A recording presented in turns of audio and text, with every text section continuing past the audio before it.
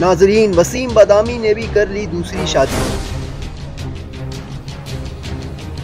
मद्दा हक्का बक्का रह गए। हैकर्स ने वसीम बदामी को नई धमकी दे डाली।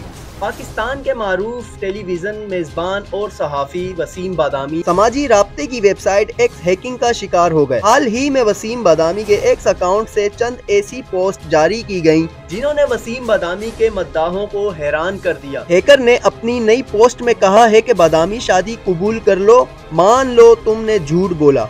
साथ ही हैकर ने धमकी भी दी कि एक ऐसी तस्वीर आने वाली है। हैकर ने बादामी को एक घंटे का अल्टीमेटम देते हुए कहा कि अब तस्वीर लगाऊँ या वीडियो। इस मामले पर अगरचे वसीम बादामी की तरफ़ से तो कोई बयान सामने नहीं आया। मगर इनके करीबी सहाफ़ी दोस्त और एंकर पर्सन इकरारुल हसन ने एक्स पर हैकिंग की तस्दीक कर दी है। इकरारुल हसन ने लिखा कि वसीम बादामी साहब का ट्विटर अकाउंट हैक कर लिया गया है।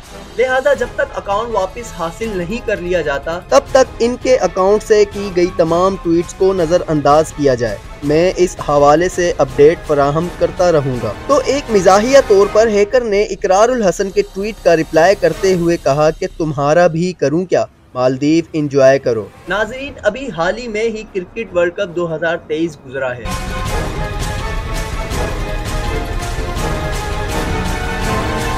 जिसके दौरान वसीम बदामी मेज़बानी के तौर पर अपने एक लाइव प्रोग्राम में बाबर आज़म का पीसीबी के साथ किया गया चैट लीक आउट कर देते हैं, जिस पर सोशल मीडिया के सार्फिन और बाबर आज़म के फैंस ने वसीम बदामी और शाहिद जट, जिसने इस चैट का स्क्रीन वसीम बदामी को अपने लाइव शो में चलवाने के लिए प्रोवाइड किया था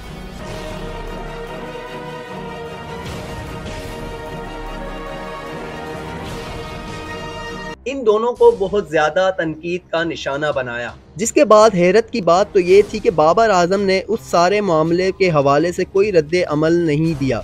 मगर अब वसीम बादामी का यूँ अचानक एक्स ट्विटर अकाउंट हैक हो जाना और तमाम पर्सनल चैट्स का लीक आउट हो जाना, इस बात की तरफ़ इशारा देता है कि खामोश इंसान को अपनी कार्रवाई करने पर मजबूर कभी नहीं करना चाहिए। और इससे ये ज़ाहिर होता है कि भूखा शेर पहले से ज़्यादा खतरनाक साबित हो सकता है। खैर वीडियो के लास्ट में जाते जाते ये ज़रूर कहना चाहूँगा कि अल्लाह तबारक व ताली का इरशाद है कि अगर आप किसी के ऐब या राज पर पर्दा रखोगे तो वो परवरदिगार भी आपके ऐबों और राजों पर पर्दा रखेगा। इसी के साथ अपने मेज़बान अली हमजा को इजाज़त दीजिए। मिलते हैं एक नई खबर और नई वीडियो के साथ। अपना बहुत सारा ख्याल रखिएगा। अल्लाह हाफ़